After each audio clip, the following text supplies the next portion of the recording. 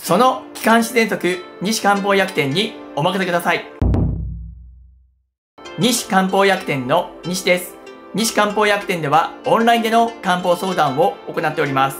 漢方相談は無料で説明に納得していただいて漢方薬を購入する形をとっております。概要欄よりご予約ください。気管支喘息とは空気の通り道である気道、気管支に慢性的に炎症が起こり、アレルギーなどの刺激によって気道が狭くなって呼吸困難、全鳴などの発作が生じる病気です。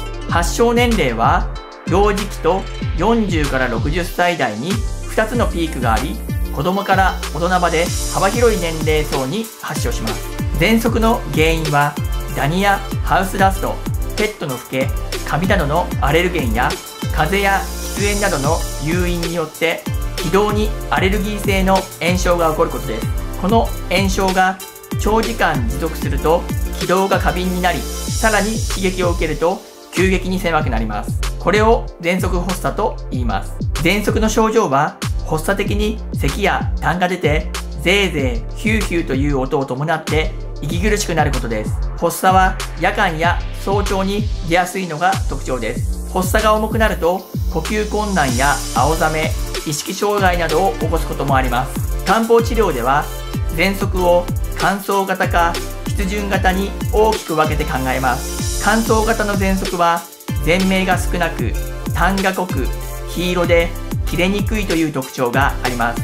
また、布団に入るなどして体が温まると咳の症状がひどくなるケースが多く見られます。漢方薬としては、肺に潤いを与える漢方薬などを使用します。湿潤型の喘息は、全鳴が多く、痰の量が多く、色が薄く、透明、切れやすいというのが特徴です。水分代謝を良くする漢方薬を使用します。西漢方薬店では多くの気管支喘息でお困りの方の症状が改善しています。個人差はありますが、早い方では服用1週間ほどで効果を感じていただき、体質改善に必要な期間の3ヶ月ほどを見ていただく場合もあります。